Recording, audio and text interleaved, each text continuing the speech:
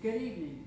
My name is Thurman Greco, and the name of this show is Let's Live with Thurman Greco, and it's coming to you from scenic downtown Woodstock, educational TV channel 23, and also from YouTube. And this is this is a whole new show, and it's been kind of under wraps for a long time, uh, and I have just reached a stopping point on this new book. So I'm going to, I, in Spanish, I'm going to enseñar. I'm going to read this book uh, first, and I think it's very important. This book is called A Healer's Tarot Memoir, and um, it's a fun book, so I hope you'll enjoy it. Tarot is a right brain tool we respond to Tarot's wonderfully pictorial images just as in dreams. Individual cards trigger inner knowledge and intuition. These tools probe the subconscious, motivating you to find inner answers, engaging self-discovery skills. The skills that I use in tarot are the same as those I use in animal communication. I receive information visually emotionally, and tactically. And if this seems in confusing, allow me to clarify. When you walk into a crowded room, if you pause for a minute, you'll pick up the vibe. The skills you use to pick up the vibe in that room are the same ones I use to read the tarot. Tarot awakens curiosity and creativity keeping your mind and your heart open. And this shines a light deep within you to your inner self. Uncovering your greatest strengths and deepest secrets, going beyond the limits of your conscious mind to access unconscious knowledge, Tarot supports your spiritual development. Tarot takes us back through the mists of time. Rachel Pollack in her books Tarot Wisdom and 78 Degrees of Wisdom, wrote about tarot history in a way that came alive for everyone interested in the tar- origins of the tarot. Get her books, read them, soak up their wisdom. They are the Bibles of our industry. I also recommend a book, Letters from Heaven, by Abigail Landsman. Abigail wrote a book and designed a Hebrew letter deck based on her own system of Jewish mysticism. Abigail designed the artwork for her deck, and her book, Letters from Heaven, is a foundation in my library. I've read it many times. Every chapter continues to offer new information and spiritual growth. The memoir focuses on the major arcana because those cards explore personal and spiritual development. The major arcana make us spread what it is. It is the heart of tarot. When I read a spread for a client, the cards light up the situation. These insights are just as relevant today as they were in ancient times. Each major arcana card is illustrated with specific symbols and scenarios, carrying powerful images referring to archetypes, which is a description for a particular type of person, and they give me access to inner knowledge. When many major arcana cards reveal themselves in a reading, they signal that the situation is not entirely in your own hands you're not alone in what you see. Because the major arcana cards represent archetypes, they are significant and can influence your situation. Major arcana cards tell us that prior events have set things in motion. Tarot is a path to personal growth. Use your tarot practice to experience the major arcana and interact with the cards especially if you're working on a specific issue. Track your journey through life with a journal. Use a spiral notebook or a binder with loose leaf pages. At the top of the page, write the name of the card and the date of the entry. Sketch the spread if you want, if you use one, and include comments, situations in your life, include anything that you feel may be relevant. My story began back in the 1990s. I lived at the time in Virginia in the suburbs of Washington, D.C. A new client contacted me to visit her home for a pet consultation. On my second visit to her home, I met a very interesting woman. Shoshana was a professional tarot reader. On that morning, I became a tarot card reading student. It's significant that I met Shoshana on my second visit to this client. Two is a number of duality and opportunity, and this can happen when a partnership with another person is formed.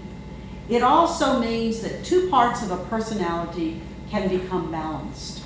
A person is becoming immersed in another person or project. I went home, called Marianne Yatsko, Maria Newberry, and Barbara Kaplan, and we arranged a series of weekly tarot classes. Every Tuesday morning from 9 until noon, we breathlessly hung on Shoshana's every word. When she paused or suggested a break, we asked for more. After many Tuesday mornings, Shoshana negotiated monthly tarot weekend sessions.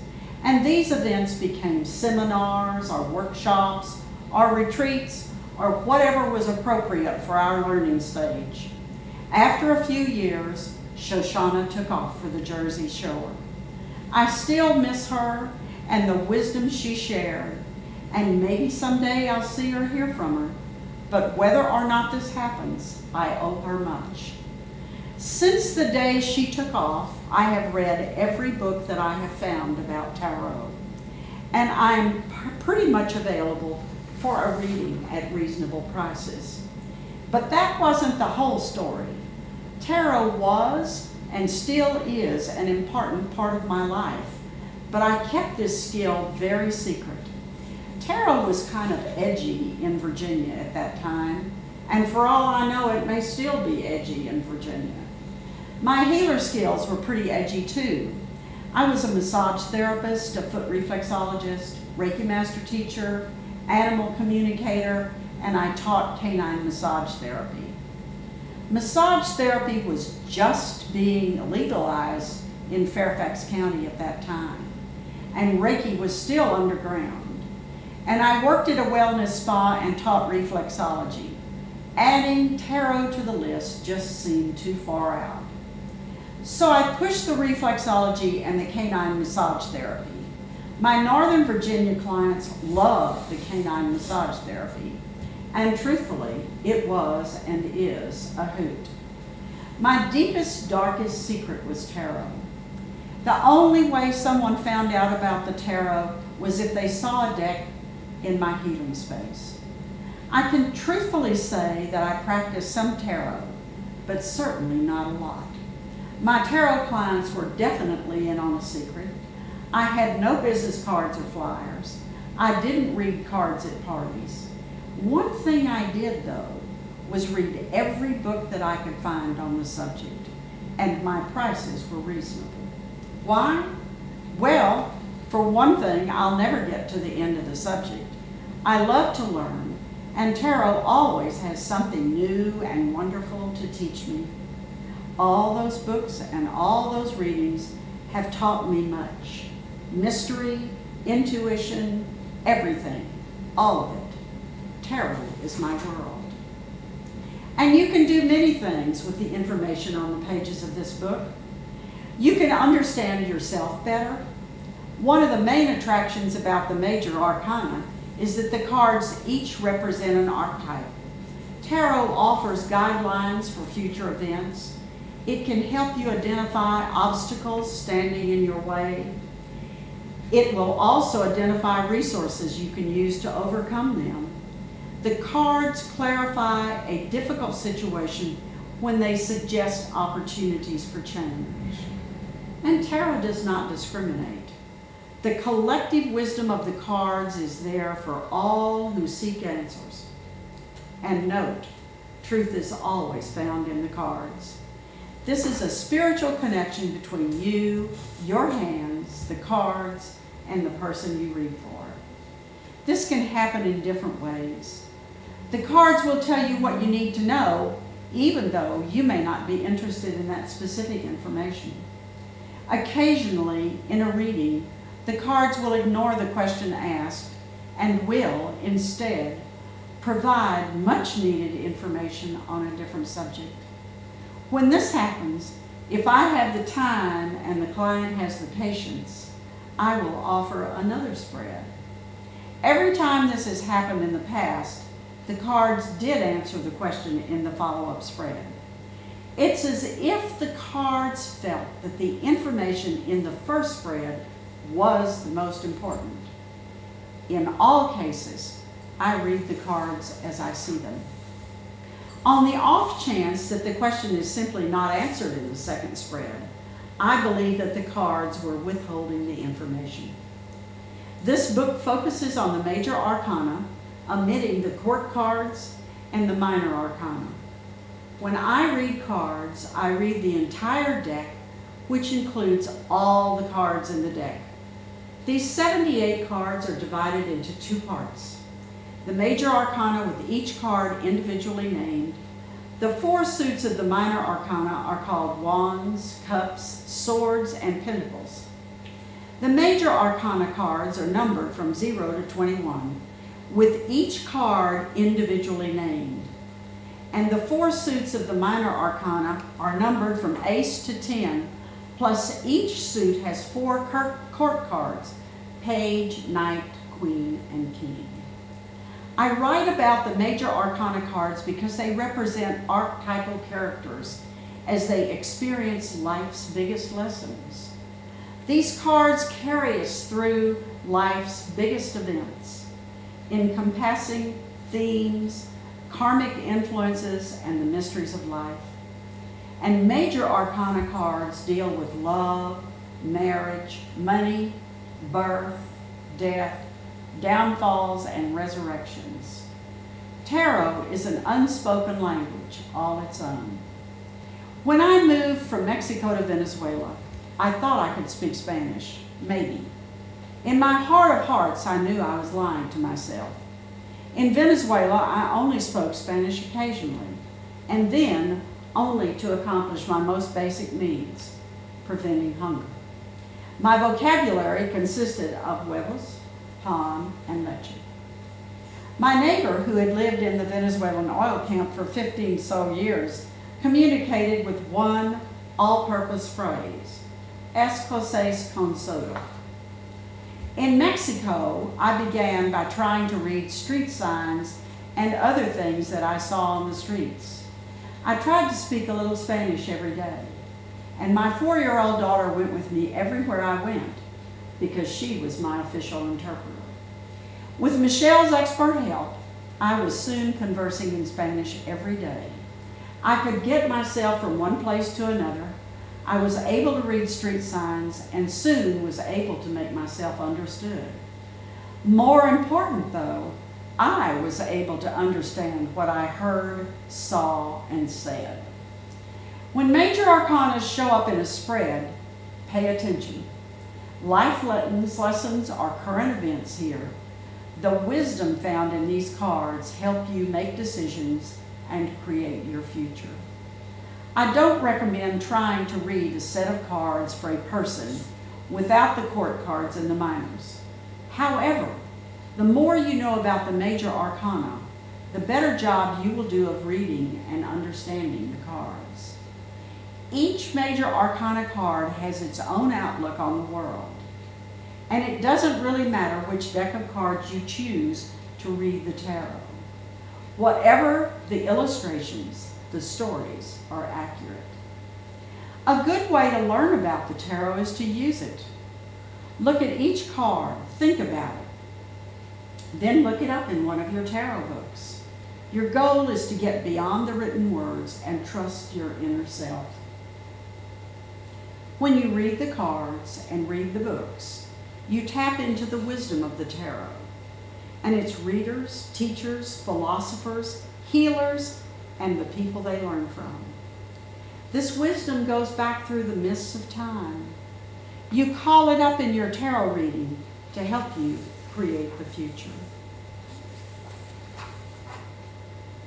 The Fool is the first of the, of the archetypes. This card begins the adventures of the tarot. Not only is he the hero in this journey, we can all identify with him. He is our soul, and he is setting out on a quest. Remember this the fool is a youthful event and can be many things, but he is not foolish. Potential opportunities awake, but they involve risk. Always be willing to take a risk. The fool responds because he likes to stay out of his comfort zone. He invites us to join in a spiritual journey toward a new life. If we do, potential seems to be everywhere. Unexpected adventures are guaranteed. We let go of the past in order to embrace coming life changes. Now is a good time to make a clean break from the dead end lifestyle habits we don't need anymore. A new chapter is beginning, the start of something new. We've outgrown a phase of our lives, and it's time to take a deep breath as we journey on the new path. We've waited long enough for the right time to leave the safety zone. Our full potential is anxious to develop, and we can no longer ignore the unexpected opportunities. With renewed energy and rejuvenation, we move forward in a new cycle of self discovery with openness and faith. And this is the fool in touch with his authentic self, discovering knowledge, talents, and abilities heretofore unknown. Amusement and spontaneity are the words of the moment. When you use your living in the moment skills, good times are ahead. Look before you leap.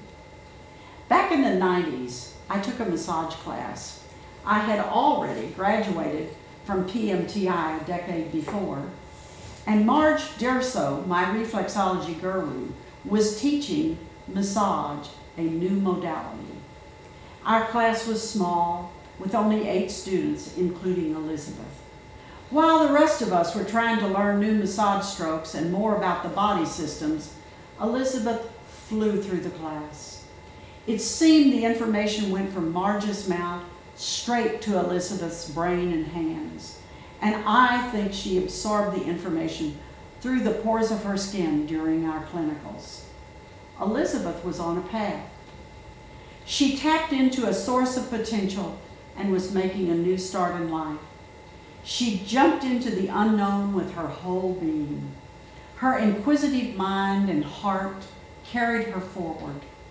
And after a while, Marge had us gathering our list of people for our clinicals.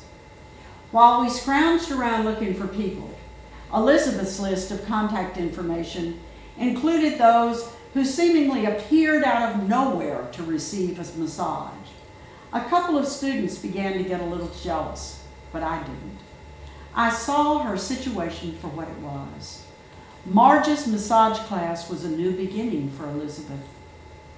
She was a modern day version of the age old tarot card, the Fool. While the rest of us wore comfortable student clothing, jeans and sweatbands, Elizabeth attended every class dressed colorfully and richly, celebrating her total openness to life and anything on the curriculum that day. Elizabeth wore gorgeous shoes, she wore sandals with four inch heels or wedge sole pumps. Elizabeth's shoes celebrated life, love, reflexology, and massage. How did this happen?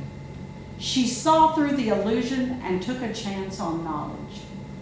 But Elizabeth didn't travel alone.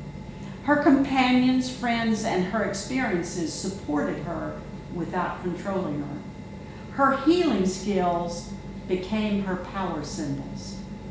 When the rest of us were afraid to move forward using our new skills, Elizabeth saw the things she learned as possibilities and opportunities, even in new learning territory and difficult chapters.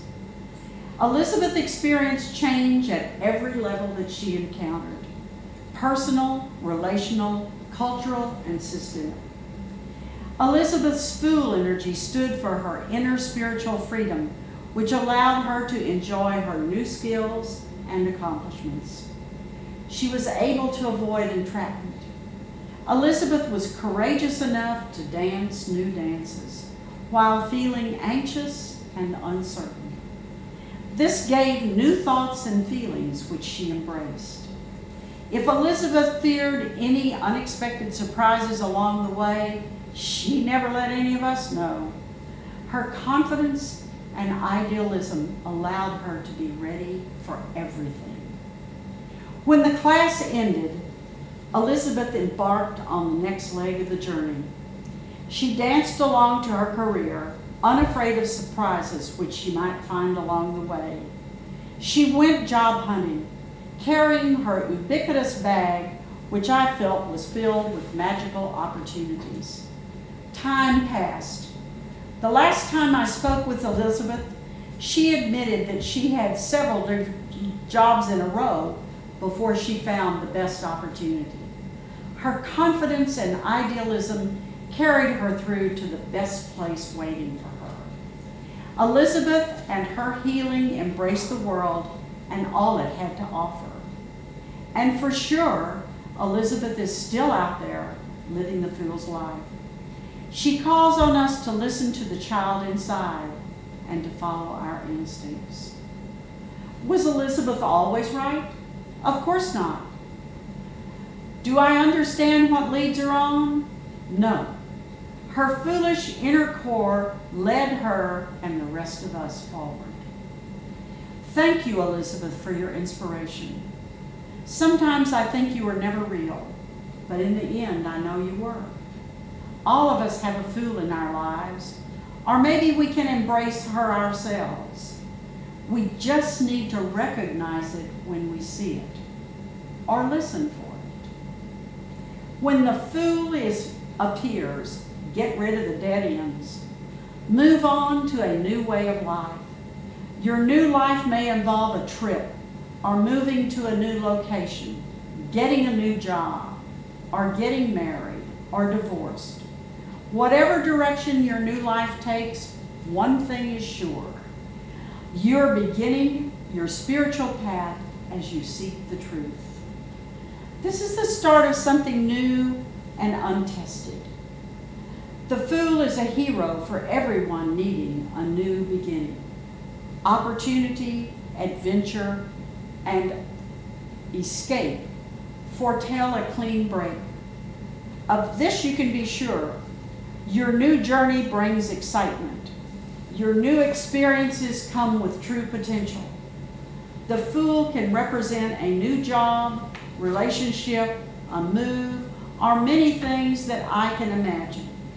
Whatever or whoever the fool represents, we learn we all need obstacles or problems in any project with a prize at the end.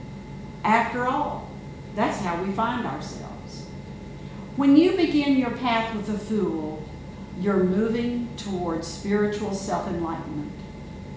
Don't forget, pay attention to all the warning signs along the way and take the time to see the truth that is right in front of you. Watch your step and use your head. The next card is the magician. The magician has all the skills you need teaching, healing, and therapy. Plus, the magician is a good omen in stressful times because of all the positive energy which becomes available. This flees up new information. The magician is a master of change and the magician represents pure male energy. This card has all the ingredients for your success at your fingertips and abilities. You just need to tap into them. Words and thoughts have immense power. They give the gift of knowledge and learning, and you will develop your untapped potential. The magician knows all about setting goals. He helps you set your goal and then stay focused until you reach it. Sometimes the magician works through another person. This makes this card a good omen with health questions because physical well-being is connected to your spiritual health. The magician translates ideas into goals and makes plans. If this is what the what you want, the magician can help you be more creative in your work because he helps people co-create. Some years ago, I managed a small town food pantry. Pantry line shoppers included massage therapists, Reiki practitioners, and other healers. Because Reiki is health care for the soul as well as the body, I taught Reiki classes and attuned interested pantry volunteers. And Kathy was a student. And she stuck with the classes and became a Reiki master teacher and now tunes her own students. She dropped by the pantry monthly and offered Reiki throughout the pantry area of the building. I felt the energy shift as she invoked the Chokurei, the Seiheki, and the Shaze Shonin in the pantry room and the hallway. This was energetic healing at work. She offered Reiki to the walls, the ceiling, the floors as people pushed around the hallway, the bathrooms, the food room, cleaning everything after the pantry closed and before we had to leave the building. And she focused on the corners. Reiki, Reiki energy transformed the pantry into a holy space, easing the toxic fear of hunger hanging like the hanging in the pantry like an invisible fog. The Reiki erased it as the floors, walls, and corners became holy. Fear of hunger wasn't the only issue. Fear of job loss, fear of illness, fear for the children were palpable. Reiki was a spiritual wind touching those needing blessings and healings. Practitioners know when the time is right. Reiki takes on a life of its own healing where it is needed, using energy passed through the practitioner's hands. Using Reiki, Kathy extended blessings. When she was in the grocery line, for example, her hands activated and Reiki blessed those in the line. It was then that Reiki became a connection between one's divine and physical selves, aligning the physical and the sacred. Whether sacred, whether Reiki works in the grocery line, the traffic line, on a massage table, at an accident site, or in a food pantry, the space becomes holy. Reiki treats a person through chakra points located throughout the body. A Reiki session reminds the recipient who she is. This self awareness opens the chakra portals so that the person can become all she can be. It's hard to get too much of this holy ritual because Reiki is all loving and all giving. And Reiki wisdom guides the practitioner's hands during a session to points of divine connection on the body. No wonder there are no connections to Reiki therapy. Reiki is a light touch applied to a clothed body. When offering Reiki therapy, I often begin a session by placing my hands on the crown of the recipient's head. And after three or four minutes, I move my hands to the occipital ridge at the base of the skull. And then I place one hand on the base of the skull and the other on the back of the neck. After a few minutes, I place my hands or I hover them over the person's body, following the lines of the person's body and following the lines of the person's main chakras. Healing energy travels up and down the chakras, beginning at the head and ending at the feet. And I feel warmth, tingling. I also see images and colors while the recipient relaxes in a sleep-like state. Chakras are the communication system of the body and chakras share information with one another as they physically, intuitively, energetically, and psychically communicate with each other. They also talk with chakras in other bodies. There is no limit to chakra communication. And finally, the pantry visits themselves are healing. The pantry experience is healing.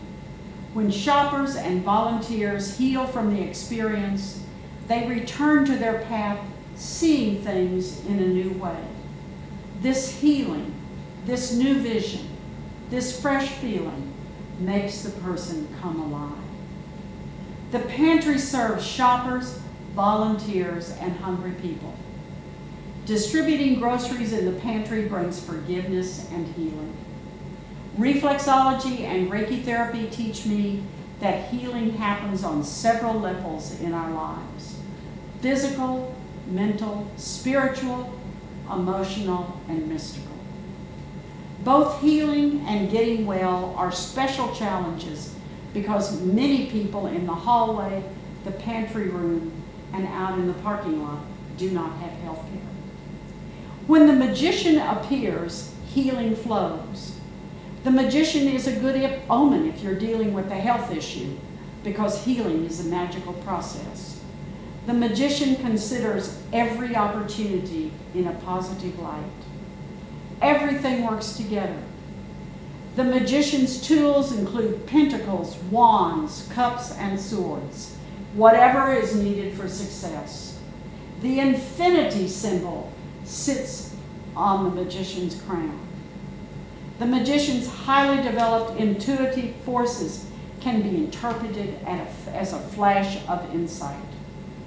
But however powerful these forces are, they incorporate leadership skills, ambition, seeking action, and new relationships. These important skills make up this mystical powerhouse. The magician announces a new beginning. Using your creative gifts and abilities, he develops untapped potential for decision making and action. This is a bold and magical step. The magician in a spread shows a developing interest in, in spiritual awareness, which can pair up with magical or mystical arts. Now you can manifest your intentions as you master your destiny. Use your focused mind and intuitive insight to take advantage of this conscious activity. When the empress joins the magician in a spread, chances are a child may become part of the picture. The magician can manifest abundance if the king of pentacles, the world, or the sun join in. The magician influences journeys, brings creativity and positive energy into your life. Work with the magician as you dig deep within yourself for the strength and power you need to make big changes in your life or the world. And these changes are magical. The bottom line is that the magician and his magic give you everything you need for your success. It all depends on your intention and desire, or how much you want it. The next chapter is the High Priestess. The high priestess possesses a highly developed intuition. Listen to her when she gives you advice. She introduces you to your real self. There's more to her than meets the eye, and she reigns over these things that we cannot see. Her wisdom goes beyond language. The high priestess is all about secrets. She guides you to find answers within yourself. Even though she is the ultimate maternity symbol, she is more professional than motherly, and she is in the know as she answers her own questions. The high priestess represents feminine spiritual power. High priestesses sit alone and use their intuition and wisdom for insight and integrity. In the right circumstances, a high priestess will share both guidance and knowledge. Meditation is good for high priestesses whose dreams may be prophetic. Other people or places may not have the answers that you need. When a person doesn't have all the facts, answers, or solutions that can't be explained, they will lose their meaning. And sometimes it may take more than one tarot spread to explain or reveal the situation. With the mysterious high priestess, solutions are a process. As things unfold, spiritual enlightenment and inner growth happen. I believe there is a high priestess in all of us to activate the energy. We find her when we decide to go deeper, practice stillness, and examine the unconscious in silence. Personal growth may happen as a situation unfolds. Sometimes she protects her other self when she needs the opposite of what she talks about. When a high priestess learns to be listened to and give advice, she may become an astrologer, a tarot card reader, a palm reader, or a therapist. That way, she uses her skills to heal and guide. You can also include poets, artists, and musicians. High priestesses like to tell about an upcoming period of study and a good teacher on the scene. Susan Fiona Saxman, Woodstock's most famous psychic, is one such person in my life. In a town filled with psychics, Fiona stands out from the crowd. She does readings in her shop, Fiona, around the corner from the Cumberland gas station. Susan sits in her shop with Ghost, her adorable dog, and greets her guests for a reading. Clients are always excited because they've waited weeks or months for their appointments and traveled maybe just hours to just spend an hour with her. Mainly, they are there with Susan to get questions answered and hear from relatives who have departed. They share love from one lifetime to another lifetime. When the high priestess appears, secrets and potential wait to surface. Something hidden is emerging. The information that she shares comes slowly. For some, this can include feminine spiritual enlightenment and personal growth. She promises reconciliation of opposites. Tune into your inner voice. Pay attention to dreams, imagination, and intuition because this is where interchange happens. Meditation may help you tap into your faith and belief. If you pay attention, reconciliation is an option. Use your intuition. Never underestimate the power of the high priestess. Surrounding cards will contribute to the outcome. When you're on the right path, you can answer your own questions. Using the energy of your inner high priestess, you can heal yourself. Help comes if you need it. The high priestess is not always a woman. When you connect with the high priestess, you check in with specific talents. You call on the high priestess when you need to use your wisdom, enlightenment, and intuition. The high priestess teaches that the knowledge and understanding you seek is within you. She knows how the universe works and why things work the way they do. She uses her attention and wisdom to teach and protect you as you learn that what you seek is within yourself. And now we come to the, the Empress. The Empress is beautiful and creative, the universal mother of us all she nurtures, procreates, heals, feeds, and supports others. She makes sure our home is safe, secure, and has all the comforts. The Empress is the Earth Mother of the Tarot. She is the ultimate maternity symbol. If there is one word to describe her, it is abundance.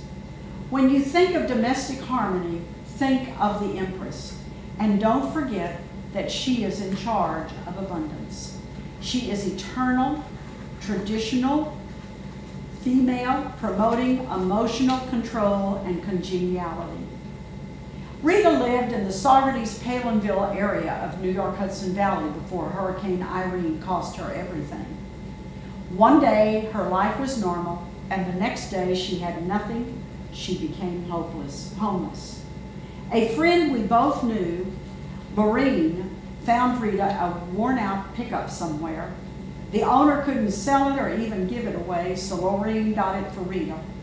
Until I looked closely at it, I didn't know what color it was. I knew what color the tires were, though slick and bald. Rita got the pickup and the key that went with it. She put it in the ignition and turned it. The motor came to life. It got her to the gas station. When the rig turned over and got into gear, Rita became the embodiment of the princess. She began her new life doing anything anybody needed to have done for $10 an hour and lunch. She cleaned out flooded houses and sheds, hauling trash to the dump. She used her computer skills when someone needed administrative work done. Rita nurtured her way from assignment to assignment each day. Her professional attire came from the free store at the family of Woodstock. She rented a room in somebody's house and was finally no longer sleeping in the pickup. When she worked in Woodstock on Wednesdays, Rita shopped in the pantry. And I will say this about Rita. She never once grumbled. Rita became a creative force working for Harmony wherever she went each day. With a smile on her face, she acted as if the food pantry was the best that food that she had ever eaten. And never, not even once, did she complain about the ancient jalopy rig that she drove around. As far as I could tell, she never lost hope. Without hope, I don't think she would ever have made it to the other side, wherever that was. This hope made her a symbol of abundance. For my part, I never once asked her how she got the rig repaired, and I never even looked over near where the inspection sticker belonged. Frankly, I was afraid to ask. I knew she might tell me the answer. Truthfully, Rita was no different from any of the rest of us in the pantry after the Hurricane Irene. She had to figure out how much of her past she could rebuild, and she had to figure out how much of her past she was simply going to close the door on as she moved into the future. Beyond her material possessions, Rita gave up everything standing in the way of success.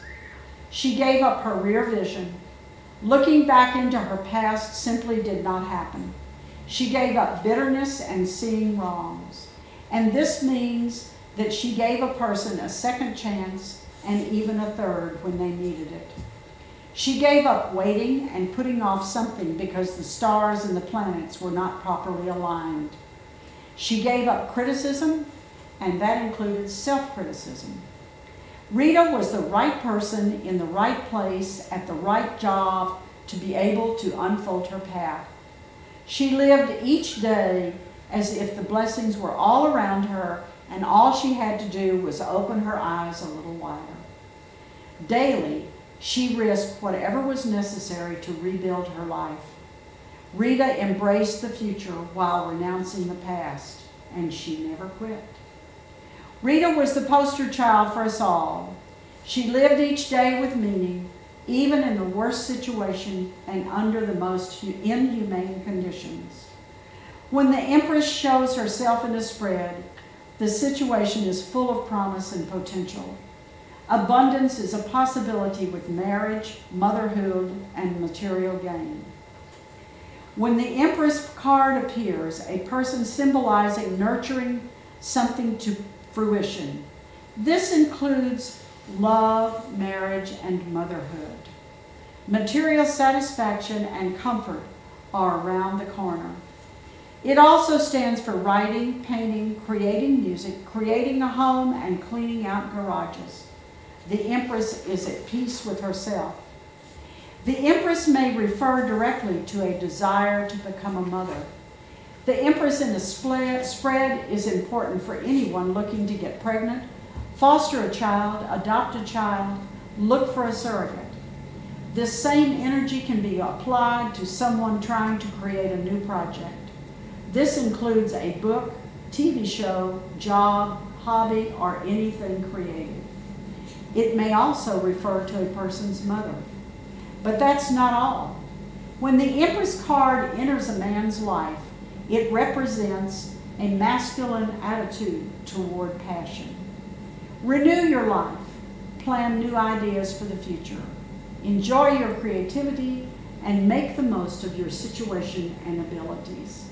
The Empress supports abundance on both a material and emotional level. And now we come to the Emperor. The emperor has authority and power and likes to take control of it all. The emperor is a moral figure who conducts himself accordingly. He sets boundaries and works within them. He works with structure, rules, logic, and reason. Readers refer to the emperor as a man, but really, the emperor can be a woman. Women are often the emperor when they structure themselves and their lives as an emperor. This can be an uplifting and powerful card for women who need to become the emperor. The emperor has a reputation as a warrior, but really, he is a beneficent ruler. The emperor has a moral code which requires that he fight for what is right and what is his duty to protect. These qualities assure that he lays down ideals, morals, ethics, and aspirations for those around him. The authority of the emperor requires him to defend it. This is how the emperor teaches those around him about the meaning of power.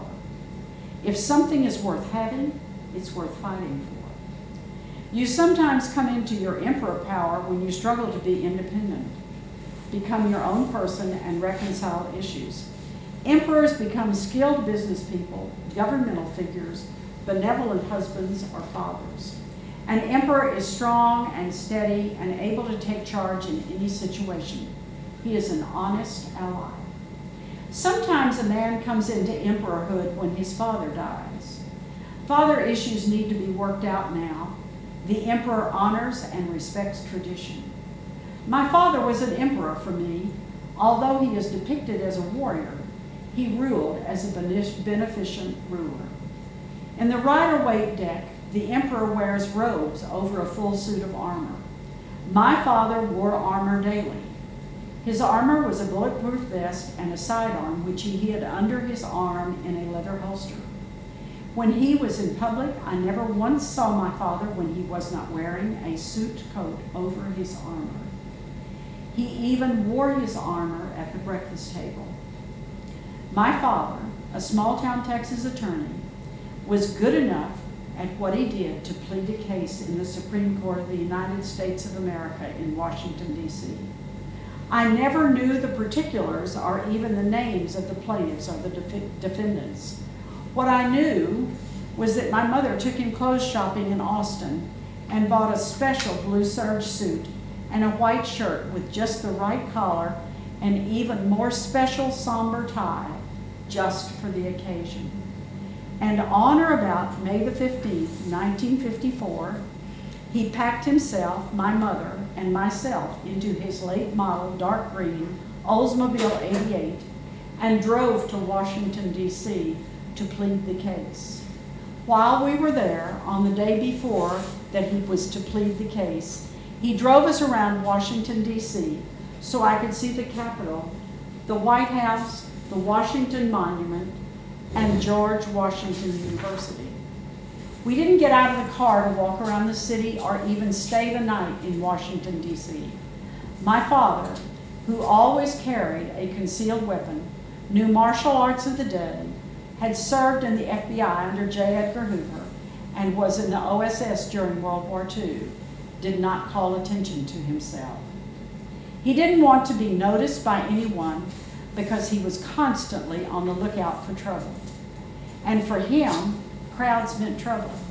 He saw things and people and could pick a person out of a crowd and recognize him or her as trouble. And this was an attitude that I grew up with. After riding around Washington, D.C. all day, we ate dinner in the fish restaurant, O'Donnell's. Fish was not readily available in my hometown, so my father loved the meal. I don't remember what fish dish he ordered, but I do remember that when he ordered for us, he asked the waitress, Do you have jalapenos? They were served at every meal in our home. Mother drove across the bridge into Villa Acuña and bought large number 10 cans of them in the bodega there. After dinner, he drove us to Salisbury, Maryland, and we stayed in the Wicomico Hotel. The next morning, he put on his fancy new suit, shirt, tie, shoes, and drove back to Washington, D.C., and pled his case before Justices Robert Jackson, Harold Burton, Fred Vinson, Hugo Black, Tom Clark, Sherman Minton, Stanley Reed, and Felix Frankfurter, and William O. Douglas, the Supreme Court Justice of the day.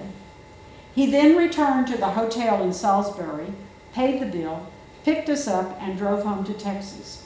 He drove us nonstop to Texas, taking the short route through Arkansas and North Texas.